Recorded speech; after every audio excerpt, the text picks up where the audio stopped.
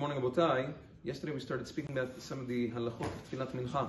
Another very important halacha that the Gemara in Masechet Shabbat and the Shulchan Aruch brings down is that when the time for Tfilat Mincha comes, there are certain things, certain activities that become asur.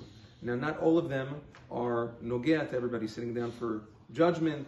Uh, taking a haircut is a little bit more lenient than it was back in the day, but something that is very uh, pertinent, especially nowadays, is sitting down to a Seudah. The Rambam and Marana Shulchan Aruch rule that once the time for Tfilat Mincha, now when we speak about Tfilat Mincha over here, we're talking about Tfilat Mincha Gedola, which means the earlier Tfilat, tfilat Mincha. Not only the Zman for Mincha, but even from a half hour before, which is from Chatzot already, the halacha is that a person is not allowed to sit down to a Seudah. Now, what does a Seudah mean? Says the Rambam and the Shulchan Aruch, Seudah means afilu Seudah Ktana.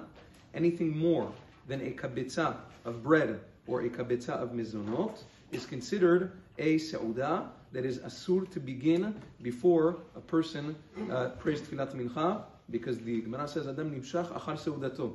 When a person eats, so he can get uh, drawn out, the, the meal can get drawn out, and we're afraid that he's going to miss out on tfilat mincha. So the Chachamim said you have to daven first and then go eat.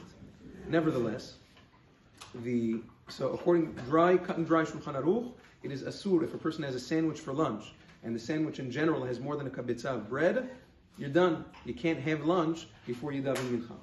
The Rama chatzot chatzot now is about uh, eleven forty something. Already from chatzot, half hour before zman mincha gedolah. Now, according to the Rama, that only applies. The minhag he says is to seudah gedolah. Seudah gedolah, which means let's say a wedding or a brit milah, something of that nature, it's considered sudah gdolah, that you can't sit down to. But a sudah ktana, something small, you're allowed to have before. Now again, the Kaf HaChaim on the spot in Siman Resh Bet rules that the minhag on this issue seems to be in accordance with the Rama. That most people, you see, you look around, most people are having lunch, even a bread lunch or whatever it is, before they daven mincha. But because of this, Maran Zechon rules that it is better to pray an earlier mincha, although we said yesterday that early mincha, the dat Maran Shulchan Aruch and the Rambam are only b'di'avad, but if you put the you know one against another, what's better?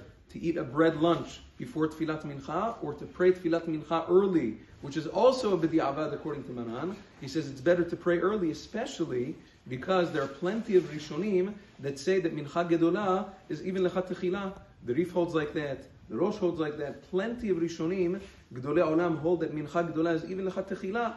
So at the expense of um, praying Mincha Gedolah versus eating lunch, bread lunch before Tfilat Mincha, he says it's better to do that. Indeed, Maran Zechon his entire life, most of his life, he prayed Mincha Gedolah at 2 p.m. because of this issue, because he didn't want to eat lunch before Tfilat Mincha, so that's what he did. He used to pray early and then only eat after that. We'll speak about tomorrow. There are other situations which also warrant praying Tfilat Mincha Gedolah, in spite of the fact that according to the Shulchan Aruch, Mincha Gedolah is only B'di'avad. Yom Tov.